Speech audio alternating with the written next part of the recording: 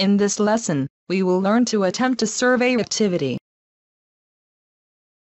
A survey activity provides an instrument useful in assessing and stimulating learning in online environments.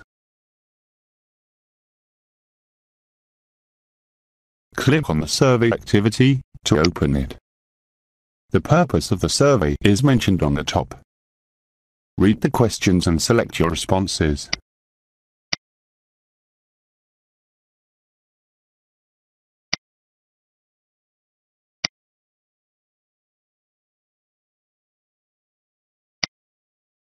After answering all questions, select the time taken to complete the survey. You can also submit your comment related to the survey activity.